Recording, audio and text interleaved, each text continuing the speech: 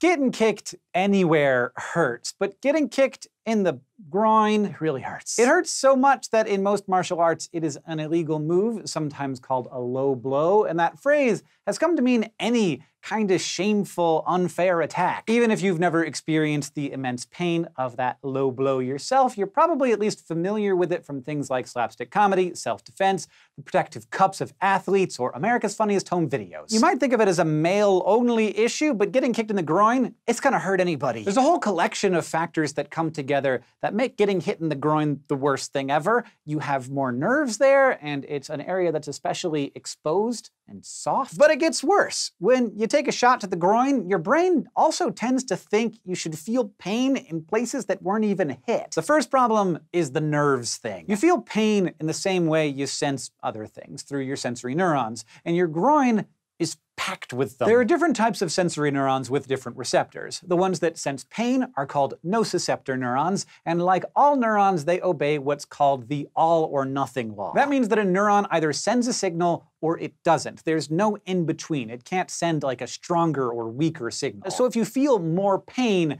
that's because there are more neurons firing. And since your groin has many sensory neurons, including nociceptor neurons, the pain you feel there can get especially intense. But it's not just the neuron density that makes getting kicked in the groin so awful. It's also the way everything down there is positioned. The testicles, especially, are really vulnerable. They're totally exposed with no surrounding bones or other support that might help protect them from some of the impact. It might seem like a bad idea for organs that are so crucial to like the continuation of your genes to be so vulnerable, but they have to be. The best temperature for producing healthy sperm is a degree or two cooler than normal body temperature. So the testicles kind of hang there, and if they're hit at the right angle, they will absorb the whole blow all by themselves. Ovaries, meanwhile, are safely inside the body, but there's still plenty of potential for pain because of the way the vulva and pubic bone are positioned. If the kick is powerful enough, the clitoris can get pinned and compressed between the bone and the kicker's foot. That will cause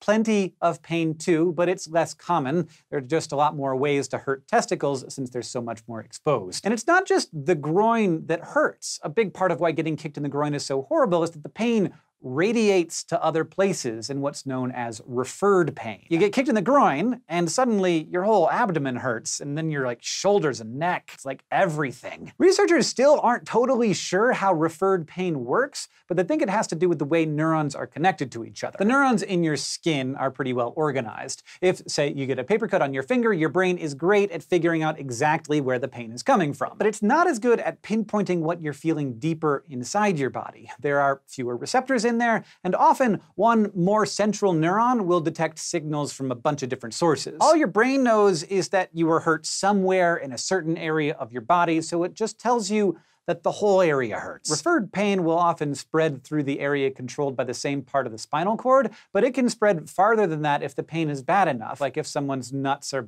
being crushed by a foot. So getting kicked in the groin is really the worst of both worlds. There are tons of neurons close to the surface ready to fire pain signals, but your brain isn't equipped to figure out exactly where the pain is coming from when your internal organs are being crushed. The result is incredibly intense pain everywhere. So maybe just steer your groin away from other people's feet. Just no more bar fights for you. Thanks for sympathetically cringing with me throughout this episode of SciShow. If you would like to learn more about the science of pain, you can check out our video on why we have pain and how we kill it.